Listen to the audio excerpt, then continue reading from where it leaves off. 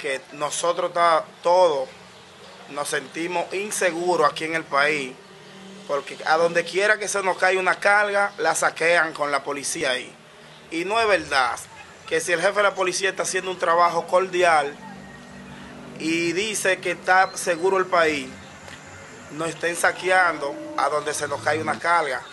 En los videos que ustedes tienen, se ven a donde el camión se volca, está amarrado, y encima de la, de, la policía, AME, eh, policía vial, se le llevan la carga y la policía no hace nada.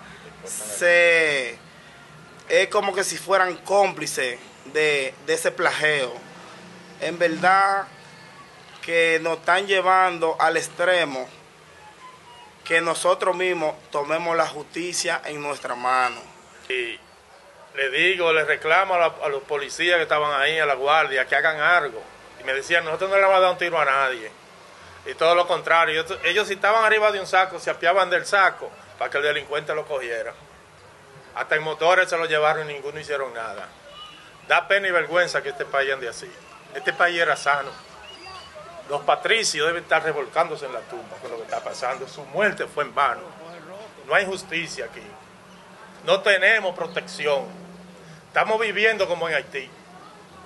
Es increíble lo que está pasando en este país. Las autoridades, amén, bien gracias, en sus propias narices. Más sin embargo, han matado gente inocente, gente serio, evangélico.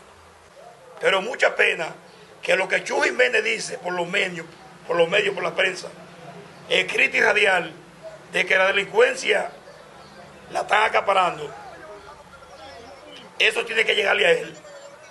425 sacos de arroz, aproximadamente 1.600.000 pesos de pérdida, aparte de los daños de la patana. Donde está la policía de AME, la Policía Nacional y la Policía Vial. Entonces, no procede, no procede que si van a sobreguardar el transporte en la calle, no importa el transporte que sea, se presente ese caso. Ellos tienen evidencia del daño y el robo que se le hizo.